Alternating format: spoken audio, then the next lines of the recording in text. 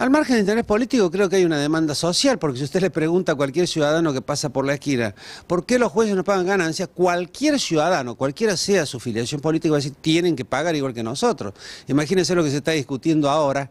el empleo de comercio, el, cualquier trabajador está pagando el impuesto a la ganancia y los jueces no lo pagamos. De por sí, así dicho, es irritativo, no hay ninguna duda. El camarista federal de Córdoba, Luis Rueda, considera que el tema es inconstitucional y deberá resolverlo la Corte Suprema. Sin embargo, cree que la discusión es de otro orden. Y yo creo que el vértice de la discusión ya pasa por principios de equidad social. Acá eh, los jueces tienen que sentarse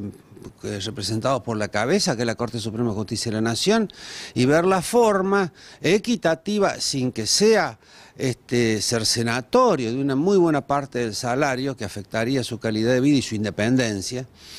eh, y establecer conforme, por ejemplo, lo que gana un diputado o un senador de la Nación,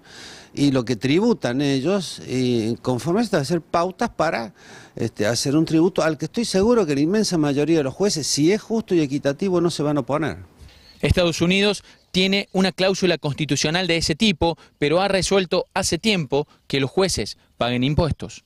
Hace 80 años hubo un principio superior que era el problema de, la quiebra del Estado y desde entonces los jueces pagan impuesto a la ganancia y están perfectamente incorporados a su cultura y además el Estado ha previsto que con eso que gana tras tributar va a mantener su independencia y su calidad de vida, dado que se le está vedado a los jueces ejercer el comercio, ejercer, asistir eh, a los juegos de azar con habitualidad, en fin, una cantidad de prohibiciones que tenemos que tienen su razón de ser en el sentido de que tienen que vivir estrictamente de lo que ganan y no de otra cosa.